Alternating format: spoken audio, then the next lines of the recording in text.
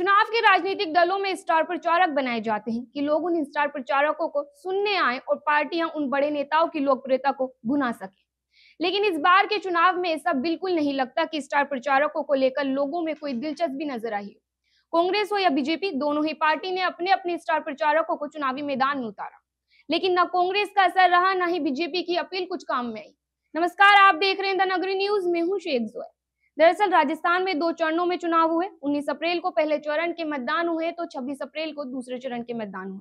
राजस्थान में चुनाव के दौरान कांग्रेस के स्टार प्रचारक राहुल गांधी, प्रियंका गांधी, मल्लिकार्जुन खड़गे और सोनिया गांधी प्रचार के लिए आए। लेकिन इसके बावजूद मतदान का प्रतिशत नहीं बढ़ा, बल्कि यहाँ नेता जिन क्षेत्रों में आकर गए वहाँ मतदान प्रतिशत पिछली बार के मुकाबले कम ज़रूर हुआ। इतना ही नहीं, देश में प्रधानमंत्री नरेंद्र मोदी को सबसे लोकप्रिय नेता कहा जाता है। लेकिन इस बार नरेंद्र मोदी की लोकप्रियता भी कुछ खास कमाल नहीं दिखा सकी। ऐसा हम इसलिए कह रहे हैं क्योंकि मोदी राजस्थान के जिन क्षेत्रों में आकर गए, उनमें से सिर्फ़ एक में वोट प्रतिशत बढ़ा। बाकी सभी जगह वोट प्रतिशत कम हुआ है। राजस्थान में इस बार के लोकसभा चुनाव में 61.60 प्रतिशत वोटिंग हुई है जबकि 2019 के चुनाव में 66.34 प्रतिशत वोटिंग हुई थी।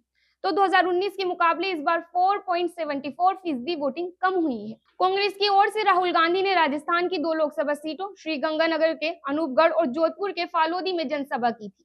श्री गंगानगर में 2019 के मुकाबले जहाँ 8.30 प्रतिशत मतदान कम हुआ तो वहीं जोधपुर में इस बार मतदान 0.50 प्रतिशत कम हुआ है। प्रियंका गांधी ने सबसे पहले सोनिया गांधी के साथ 6 अप्रैल को जयपुर में सभा को संबोधित किया और जयपुर में इस बार 2019 के मुकाबले 5 प्रतिशत कम लोगों ने मतदान किया। इसके बाद प्रियंका की दौसा और जालोर में जनसभा हुई। दौसा में करीब 6 प्रतिशत और जालोर में करीब तीन प्रतिशत कम मतदान हुआ है। अलवर में प्रियंका ने कांग्रेस प्रत्याशी के समर्थन में रोड शो भी किया था, जहाँ 2019 के मुकाबले करीब 6.50 प्रतिशत से कम मतदान हुआ है। लोगों ने राहुल गांधी और प्रियंका गांधी की अपील तो नहीं सुनी, लेकिन खास बात यह रही कि जिस नाम पर भाजपा चुनाव लड़कर वोट हासिल करना चाहती थी, उन नरेंद्र मोदी की अपील पर भी जनता ने कुछ ज़्यादा ध्यान नहीं दिया।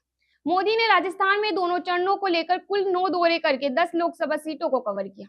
इन 10 सीटों में से सिर्फ़ बाड़मेर में मतदान प्रतिशत 0.95 फ़ीसदी बढ़ा है। इसके अलावा बाकी सभी नौ सीटों पर मतदान प्रतिशत एक से लेकर 8.50 प्रतिशत तक कम हुआ है। प्रधानमंत्री नरेंद्र मोदी ने जयपुर ग्रामीण लोकसभा क्षेत्र में कोटपुतली में 2 अप्रैल को 5 अप्रैल को चूरू 6 अप्रैल को अजमेर के पुष्कर 11 अप्रैल को करौली 12 अप्रैल को बाड़मेर में सभा करने के अलावा 12 अप्रैल को दौसा में रोड शो भी किया था।